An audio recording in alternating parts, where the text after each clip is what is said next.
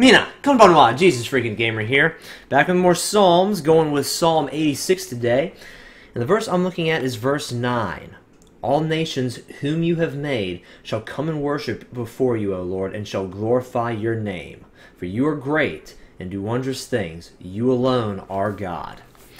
And so we've heard this many times. Well, at least on my channel, you have a few and by many, I mean a few. I'm like, how often have I talked about that? I've mentioned at least twice, maybe three times, about how in the Old Testament, God is still like the God of the Old Testament, and He's the God of all the earth. He doesn't just want to save Israel, He wants to save the nations around Israel through Israel's testimony.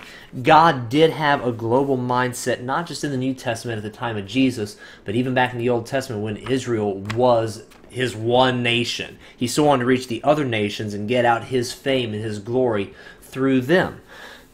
Also, it it kind of the the focus that I'm driving with this particular episode is I, like I said, you know, people usually think of that as a New Testament term, not an Old Testament one, but in the New Testament, it is absolutely applicable, where Jesus said to his 12 disciples to go out into all the nations and spread the word.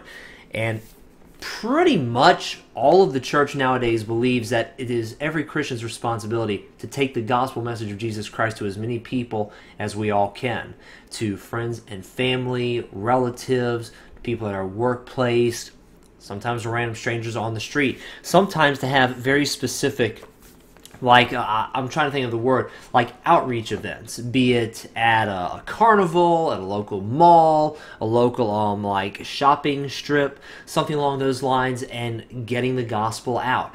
And in all ways and in all methods, making sure to tell people about Jesus. And this isn't like just some polished professionals thing. This is something that every single Christian should be a part of. We should all get the word out that Jesus Christ is Lord. And there are also some very particular people that God has called. And this is a bit more of a specialty called to go out into the nations. Like you if you read about the history of the apostles much later after the book of Acts, according to history, the 12 apostles at the time I, I, I, I no, I was gonna say they drew straws. That's not correct. They drew lots. That that's the term that they would use for it. They drew lots, and each lot had a nation on it, and whatever lot they drew, that would be the nation that they went to. And there are silver people called missionaries nowadays that go out into the field. And by the field, I mean somewhere other than their uh, home country.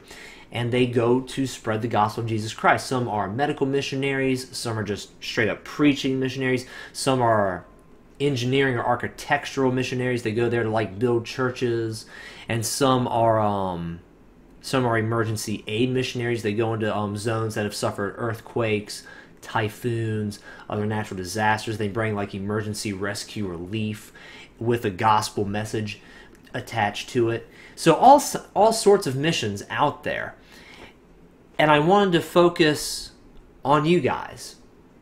Anyone watching this video who is a believer in Jesus Christ, is it possible that you have a call to the missions field? Is that a possibility? Is that something God wants you to do? I heard so many of these, you know, is God calling you to ministry? Is God calling you to be a missionary? Many, many, many times as I was growing up um, in a good old Southern Baptist church. it's something that I really never thought about it wasn't something that I really. I mean, I'm going into ministry. Let me re, let me refresh that. I'm going into ministry. I think even YouTube is a part of that ministry. Where I'm spreading the word of Jesus Christ. I'm going to do some. I already work with the local church, not paid, but I am a part of the ministry team that is there. I try to actively engage in discussions about Jesus and the gospel whenever I get the chance.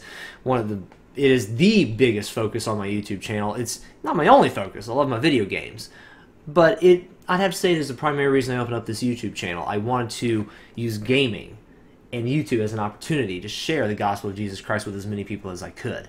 So, looking for ways to do my part in this commission. But is there more in store for me? Is there more in store for you? Is there something else that God wants you to do? Is there somewhere else God wants you to go? And I just want to challenge you with that thought. And I want to be that I want to be that preacher. I want to be that guy that says, "Has God called you to the ministry? Has God called you to the mission field?"